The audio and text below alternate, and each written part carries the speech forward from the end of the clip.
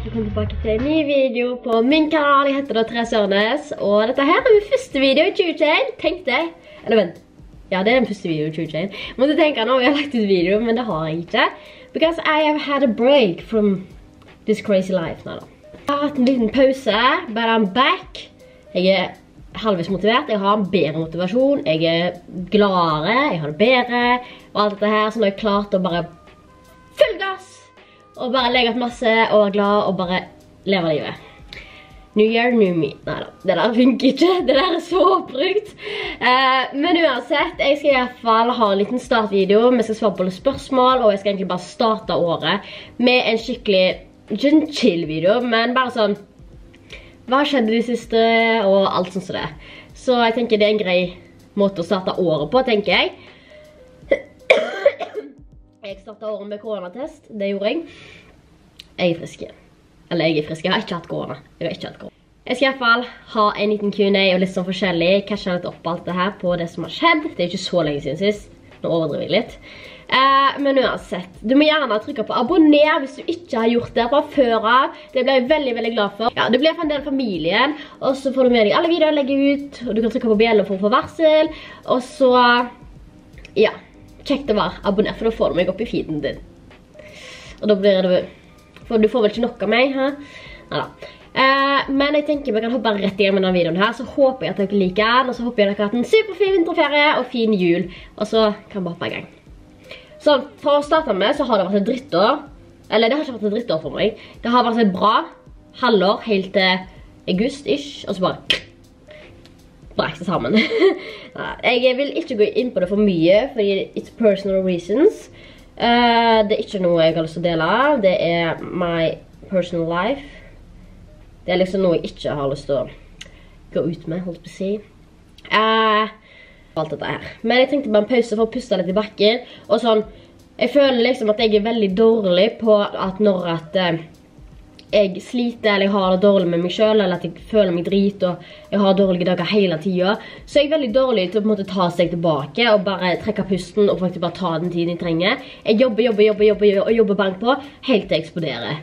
Og det er ikke bra for meg, jeg vet det, men det er sånn jeg alltid har vært, jeg er sånn alltid, og av og til så bare må jeg bare senke skuldrene og bare ta vare på meg sjøl. Og sånn, jeg var hos Nicole dagen etterpå jeg hadde skrevet at vi skulle fikse den neglen hvis jeg knokker. Jeg skal ha den på mandagen. Jeg gleder meg, fordi hun, hun er psykologen min. Nei, men det er så kjekt hos Nicole. Jeg elsker Nicole. Hun er det beste av å vet om. Eh, men også, jeg var hos henne dagen etterpå. Jeg hadde, fikk eh, tatt litt breakdown in the car. Eh, for jeg hadde vært hjemme og fikset julegaven til mamma og pappa, fordi vi til jul så gitt de meg et kontor og pustet opp soverommet mitt. Mitt barndomshjem, soverom, alt jeg si.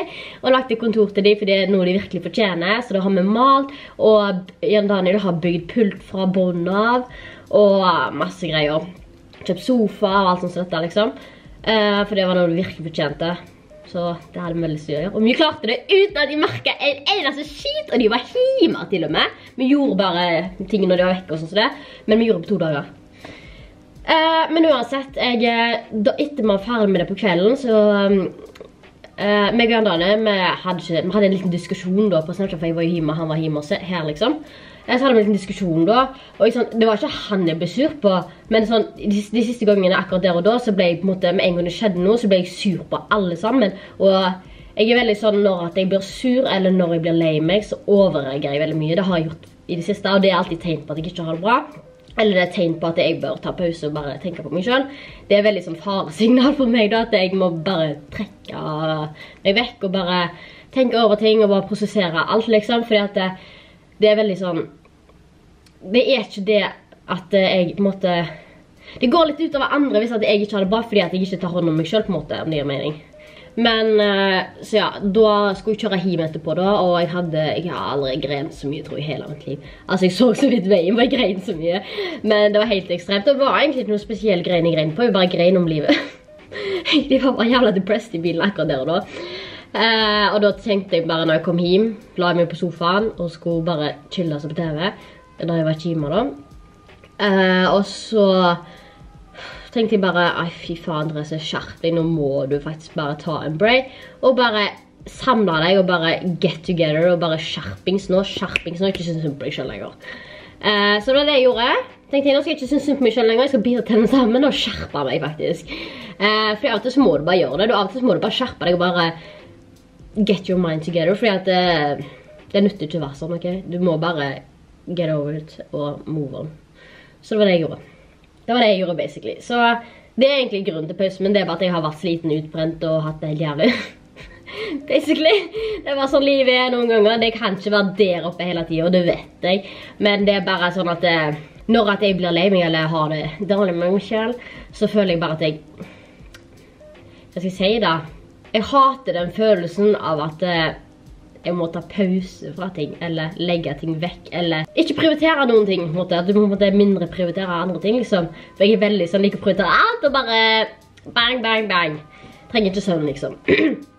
Men eh, det funker ikke. Jeg måtte ha pause. Men nå kan jeg gjøre det samme igjen. Og du sier, nei, jeg skal, endre, jeg skal endre ta litt tankegjeng på det. Og være flinkere. Fordi jeg skal lage video der jeg sier dere mine nyttårsforsetter. Fordi at eh, så klisjé som jeg er, så skal jeg fortelle dere mine nyttårsforsetter. Fordi at jeg selvfølgelig har jeg noen. Eh, men uansett, jeg skal bare svare på litt spørsmål. Jeg ville bare forklare litt, for noen lurte på hvorfor det var vekk. Jeg kan forklare grunn og bla bla bla, men sånn... Jeg kommer ikke til å gå i detaljer på det, men dere får vite det sånn overfladisk. Men det er sånn livet er av og til. Jeg regner med at mange av dere på en måte har hatt det som moment, dere bare må skyve alt vekk og bare ta en ansiktsmaske og bare ligge der i to uker. Men jeg hadde en veldig, veldig fin ferie, og har, altså det beste jeg har hatt på lenge, tror jeg. Og nyttår var kjempekjekt. Men ja, jeg har svart spurt gang spørsmål på Instagram, så tenkte jeg å svare på det. Det er det jeg pleier å spørre. Um, så gjerne følg med der hvis du har lyst å spørre om noe, for det er der jeg pleier å hente spørsmålene. Uh, veldig godt dere YouTubes. YouTube. Uh, dere på YouTube selv, hvor mye reklame dere skal i video, og eventuelt hvilken reklame. Jeg vet ikke hvordan vi velger hvilken, men jeg, pleier, jeg velger ikke selv hvilken reklamer jeg får. Bare for noen av YouTube, som er relatert til videoen, tror jeg. Uh, men jeg kan velge hvor mange reklamer jeg vil ha i videoen generelt, hvis du har video som er lengre enn 10 minutter. Uh, så både og, på en måte. Uh, hvor mye tok du i leppa? Jeg tok 1 milliliter første gang, og så 1 nå når jeg gjorde det sist. Men jeg har nesten hatt ett år imellom. Og det kommer jeg til å fortsette med, fordi jeg skal ikke bli psycho hodet på dette greiene. Det er ikke så viktig for meg. Um, hva skal du etter VGS? Jeg har tenkt, eller jeg, jeg har lyst til å gå rett på sykepleiering. Jeg har ikke lyst på noe frihag, jeg har ikke lyst på noe sånn så det, fordi jeg kommer bare til å late meg et helt år, det vet jeg, jeg kommer til å jobbe. Men jeg hadde hatt godt av det, bare for å måtte, ta det litt med ro, jobbe masse, og bare gjøre det jeg liker best, og det er å jobbe. Uh, men samtidig så vet jeg at det, det er ett år i... Jeg må liksom gå ett år lenger på sykepleien hva jeg egentlig kunne ha trengt. For det er tre år. Og hvis jeg tar det med en gang, så er jeg ferdig når jeg er 21. Ja. Så jeg har bare lyst til å hoppe rett i det, egentlig. Åpen for analsex. Not for you. Har lyst på barn? Ja, men jeg er fortsatt too young. Altså, jeg har alltid sagt at jeg vil bli ung mamma, men sånn som nå er det alt for ungt, liksom. Jeg er ikke Altså, jeg skal aldri si hvis du kommer i situasjonen, men det håper jeg ikke skjer. Because jeg har p-plaster rett der. Uh, jeg har ikke lyst til å komme i situasjonen, for jeg har ikke lyst til å bli gravid. Det er ikke noe jeg har lyst til å prøve på, eller noe sånt som det. Men sånn, jeg har alltid sagt at jeg har lyst til å bli ung mamma. Da har jeg. Jeg har ikke lyst til å få første ungen min når jeg er 33, liksom. Jeg vil ha en ungen når jeg er 25. Tenker jeg nå. Det kan fort endre seg, for når jeg plutselig er 24, så føler jeg meg dritunge.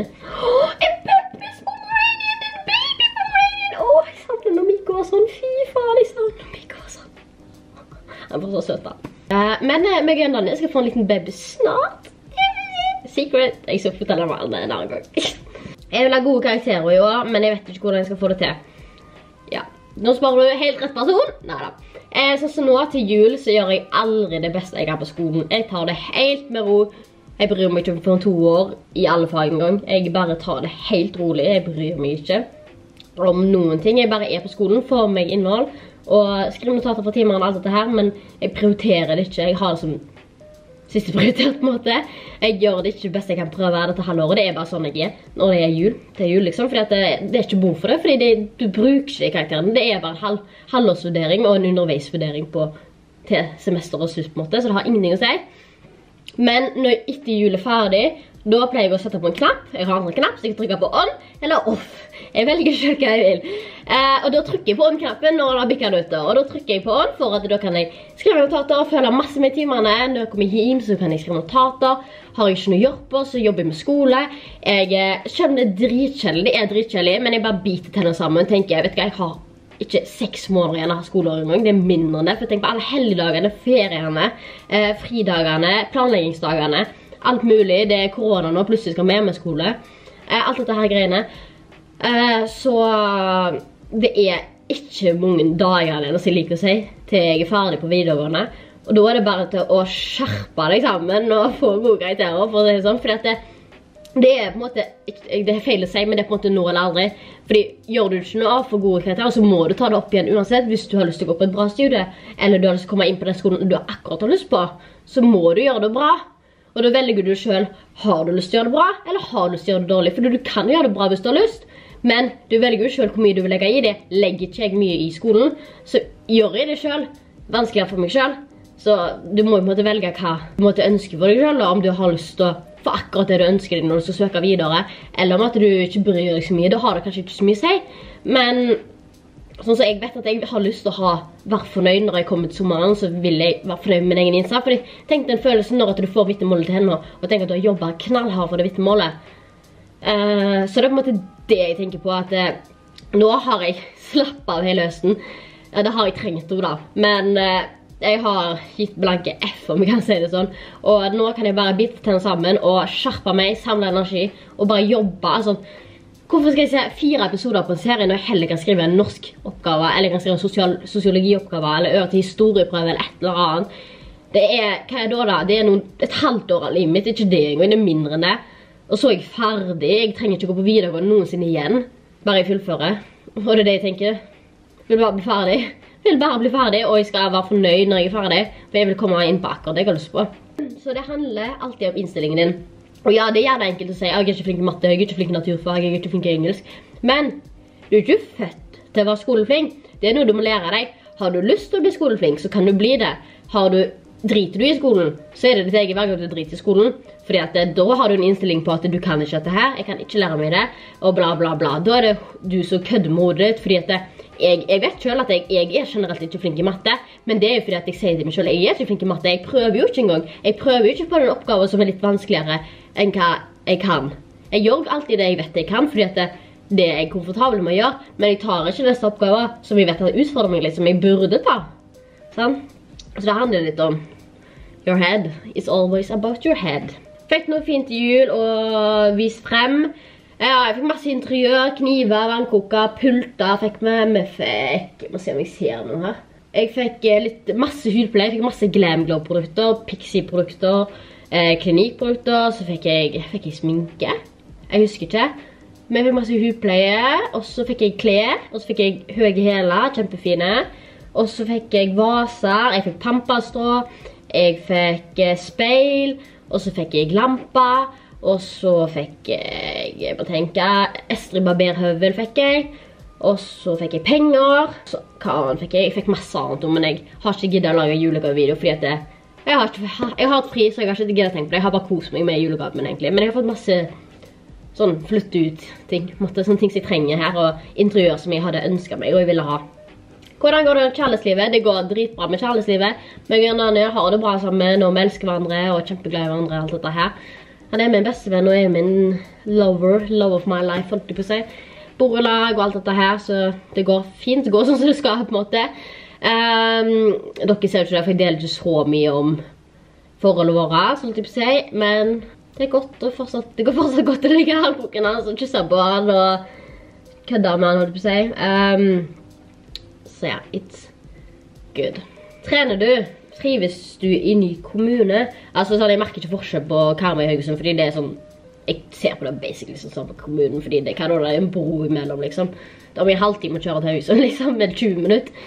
Eh, så jeg merker ikke stor forskjell, og, og bodd her lenge, holdt jeg på å si, i tillegg, så Før jeg bodde her, så var jeg hele tiden her hos Jan Daniel, så jeg merker ikke forskjell. Og jeg skal faktisk begynne å trene om noen dager nå, fordi at Lisa og Charlotte, to venninner av meg, de trener. Charlotte begynte å trene med Lise. Så tenkte jeg at da kan jeg gå begynne, så kan jeg gå bli fit igjen. Fordi jeg trente veldig mye før på ungdomsskolen, sånn som det, men slutta jeg, for jeg fikk pain in my back, holdt jeg på å si. Um, så skal jeg begynne nå. Jeg synes det var veldig gøy før, men jeg bare hater trening etter jeg slutta. Så nå skal jeg begynne å like det igjen, men jeg må bare gjøre det for rett grunner. Og alt dette her. Uh, men Lise skal bli PT-en min, har jeg bestemt.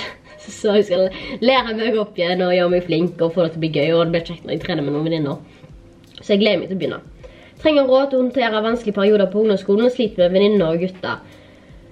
Du må sette deg først, først deg selv Først, du må alltid ha deg selv som prioritering, og så, jeg føler på en måte du snakker om sånn drama og sånn unødvendige situasjoner som skjer på ungdomsskolen, og da må du på en måte, det som jeg har lært meg når det kommer til sånne ting nå, er at jeg bare puster inn, og jeg på en måte, Sånn som når du på en måte blir litt eldre, så bryr du ikke på samme måte lenger. Du måte sånn, ok, det kan om det, jeg faen, liksom.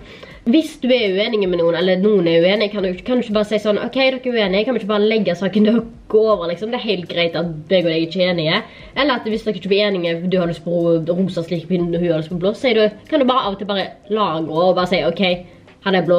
Eller hvis, sånn som hvis meg og Daniel krangler, og jeg ikke føler at det her er en nødvendig situasjon, så sier jeg sånn, greit, Jan Daniel, vi gjør det, eller vi tar den, eller et eller annet sånt, bare sånn legge den over, fordi, er det vits? Er det verdt det? Er det verdt tida vår, liksom? Har, altså, på ungdomsskolen så er det alltid vanskelige situasjoner. Det er alltid dritperioder. Du kommer alltid nær i sånne giftige, falske folk. Og det er, men, det er ikke sånn falske og giftige og alt dette her greiene, men dere går bare til overens, dere passer, passer, ikke sammen, som jeg kanskje tenker på at du kanskje må finne noen andre, eller at du bør kanskje trekke litt unna, eller et eller annet sånt. Du må måte, bare finne ut at det er vanskelig måte, å si spesifikt når du sier du trenger noe råd, fordi jeg vet jo ikke helt hva du sliter med. Eh, men det jeg har lest senere er at du bare kan ta et step back, og du kan bare være litt i skyggen, litt i bakgrunnen, og så bare hører du på det de andre har å si sånn. Det blir jeg jo hvis jeg merker at det blir sånn awkward situation, eller at jeg blir sånn, åh, hvorfor faen gidder dere? Så tar jeg heller bare step back og blir sånn, ok, greit. Eller så bare legg ballen død. Hva er det beste og det verste som har skjedd i 2020? Det beste er at meg og Daniel flytta i lag. Uten tid. Ja, det må være det beste. Fordi det, det, har gjort så mye bra for forholdet vårt. Det har jo vært noen negative ting også, fordi vi er oppe i hverandre hele tiden. Eller vi er ikke så mye oppe hverandre, for jeg jobber, og jeg går på skole, han jobber, og han er med vennene sine, jeg er med vennene mine. Um, men sånn, altså sånn, du, når du flytter i lag, så ser du på en måte en helt ny side av, side av en annen person nå. Og sånn, for min del så har alle fortsatt bare vært positive og sånt òg. Men det er jo sånn at vi blir trattert hvis den ikke har rydda, eller at den har lagt det, eller har du tatt den, har du ødelagt den, eller sånne ting, småting som at du, så blir det på en måte en litt mer del av hverdagen din nå. Uh, og det verste er vel det at jeg har hatt en drittperiode, tror jeg. Hvordan får du til å ta så bra bilder, og hva tar du bilder med? Mobilen min jeg skal vise dere, jeg må kjøpe meg ny mobil. It's fucking destroyed. Og kamera her fremme knust, det var ikke jeg som knuste, det var kompisen der Daniel som gjorde på fest. Uh, så jeg må kjøpe meg ny mobil, for det er fucked up, jeg kan ikke ta bilder med den lenger. Men jeg tok bilder med den. Jeg kan ta bilder med bakkamera, men ikke fremme. Så jeg må kjøpe meg ny. Det har jeg bestemt meg for. Og spare penger til det. For jeg gidder ikke å bruke masse penger på det en gang. Jeg liker heller bare å spare, og så bare føler at ikke de pengene går av kontoen på en måte. Uh, men jeg tar bilder med kamera som jeg bruker nå, så er Canon G7X Powershoot 2. Ja, jeg tror det det heter. Uh, det der vloggkameraet som alle youtubere bruker. Men det var alle spørsmålene som dere har spurt om. Jeg tenker ikke ta flere, fordi jeg har filmet 20 minutter snart, ser jeg. Uh, men jeg håper jeg dere har likt videoen, og hvis du har lyst til å være med på 2021, jeg er veldig klar, og jeg har lyst til å lære meg nye måter å redigere på nå, det skal jeg tenke å se på snart. Uh, og litt sånn andre ting som jeg kan gjøre, bare fordi jeg føler videoen min dritkjedelig. Jeg synes det er kjedelig å se på det selv, og det er ikke sånn det skal være, fordi at det, dere gidder jo ikke se på det engang hvis jeg synes det er kjedelig. Liksom. Jeg synes det er gørr For jeg har jo ikke levert på lenge, føler jeg. Eh, så ja, jeg vil lære meg litt nye ting, og endre litt innstillinger, og alt sånt som det, og måtte gi litt mer av meg selv. Jeg har vært skikkelig upersonlig det siste året. Det tror jeg nå har med at jeg har fått en annen livmetode, ord, at jeg trekker meg litt tilbake av det. Jeg tror det, det er det jeg mener på at det ikke er noe annet. Det er jo andre, litt andre ting, og sånn som det som har skjedd det siste. Jeg vil bare endre på litt ting på this world here. Uh, men ja, gjerne trykk på subscribe for å få med deg dette året, så skal vi få det til å bli et knakende bra år. Eh, jeg er klar for dette, og så snakkes vi i neste video. Men neste video blir mine nyttårsforsetter, så stay tuned for that. Jeg skal filme den rett etterpå jeg har lagt på her, holdt jeg på seg. Så snakkes vi veldig, veldig snart, og husk at jeg er trolig, trolig glad i dere alle sammen. Så snakkes vi next video. Bye!